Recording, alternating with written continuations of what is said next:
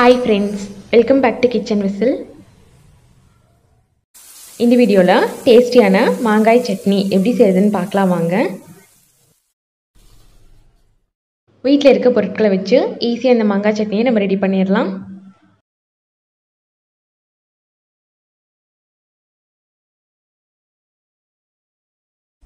அடுப்பத்தை வச்சு பேன் வச்சுட்டு ஒரு மூணு டேபிள் ஸ்பூன் அளவுக்கு எண்ணெய் சேர்த்துக்கலாம். எண்ணெய் சுடானதையும் ஒரு கால் டேபிள் ஸ்பூன் அளவுக்கு சீரகம் ஒரு கால் டீஸ்பூன் அளவுக்கு வெந்தயம் ஒரு டேபிள் ஸ்பூன் அளவுக்கு கடலைப்பருப்பு சேர்த்துக்கலாம்.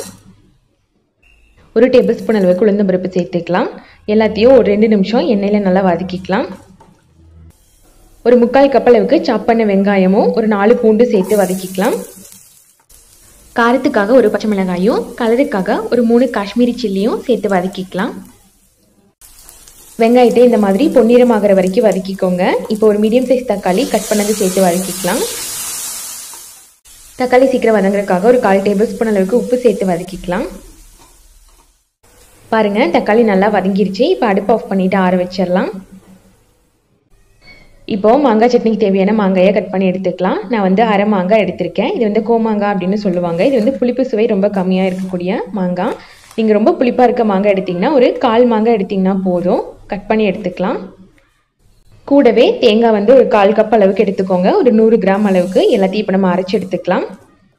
வறுத்து வச்ச வெங்காயம் தக்காளி மாங்காய் அதுக்கப்புறம் தேங்காய் எல்லாத்தையும் சேர்த்துட்டு இந்த மாதிரி பல்ஸ் பண்ணி எடுத்துக்கோங்க. இப்போ வந்து ஒரு அரை கப்லேருந்து கால் கப் அளவுக்கு தண்ணி சேர்த்துட்டு சட்னிக்கு எப்படி அரைப்பீங்களோ அதே மாதிரி அரைச்சி எடுத்துக்கோங்க. பாருங்கள் இந்த மாதிரி அரைச்சி எடுத்துக்கோங்க.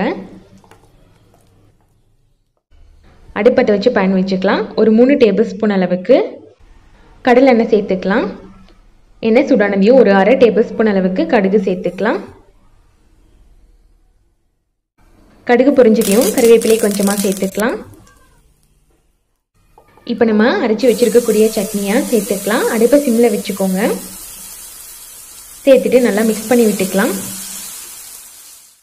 இந்த மாங்காய் சட்னியை ஒரு ரெண்டு நிமிஷம் எண்ணெயில் வதக்கிக்கோங்க. அடுப்பை சிம்மில் அல்லது மீடியம் லோ ஃப்ளேமில் வச்சு வதக்கிக்கோங்க. உப்பு செக் பண்ணிவிட்டு சேர்த்துக்கோங்க. நான் வந்து ஒரு கால் டேபிள் ஸ்பூன் அளவுக்கு உப்பு சேர்த்துக்கிறேன்.